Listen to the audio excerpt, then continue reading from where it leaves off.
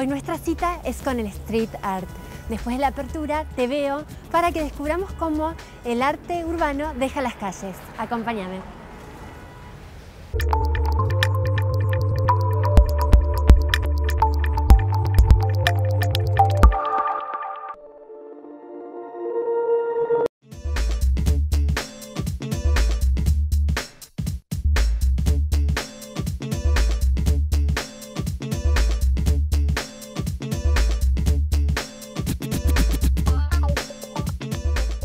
Estamos con Yoav Litvin. Thank you so much for receiving us today.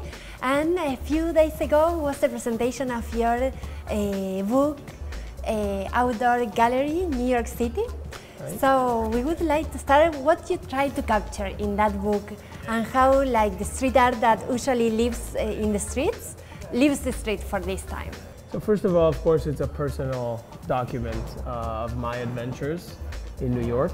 Um, I had I got the spark of love for art and for street art especially um, because of many reasons. One of it being that it's free and available for everybody to see, uh, and because of that, I think a lot of the artists um, do work that is a little bit more controversial and more interesting. Um, so I love the public uh, part of it. Um, I just started walking around because of a personal injury, so I couldn't do any other sport. Uh, and then I decided to take my camera along. And I also got into Instagram. Yeah. Uh, and I got very good feedback from uh, the artists themselves and the fans. And I just started having fun with my photography. And pretty quickly, um, I decided I want to do a book.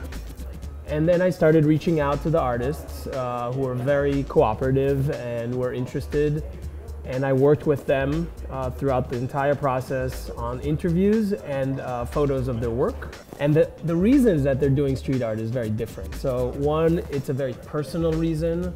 Uh, OCMC, for example, does street art as a way of um, remembering different people, significant people in his life and in uh, people that he knows life. Um, other people do street art because they come from the culture of hip hop and the 80s and 70s uh, movement that was here in New York City. Uh, others were from abroad and just influenced by very important uh, graffiti books like uh, Subway Art uh, by Martha Cooper. So there are many, many, many reasons.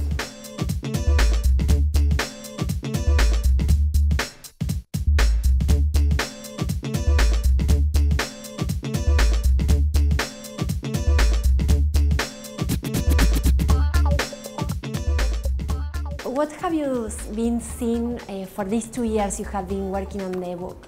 Like new techniques that call your attention, or new trends. What can you tell us about that?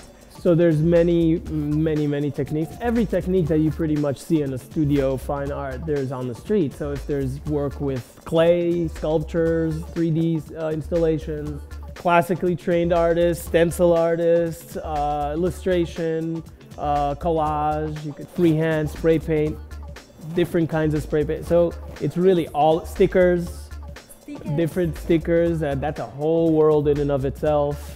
Um, it's just it's just so varied, yeah. And you can see this beautiful beautiful mural up here. This is by a, a group, a, a new uh, group of incredible artists that collaborate together. Some of them are in the book. Uh, they're called Numerica.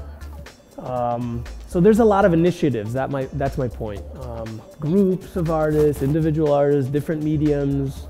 I feel that sometimes graffiti and, and maybe a little less so street art, but especially graffiti, there's a very negative stereotype with a lot of people about it. You know, Vandalism, illegal. just like- yeah, just those things. Yeah. Whereas it's a whole That's- art form, Exactly. a whole world. So.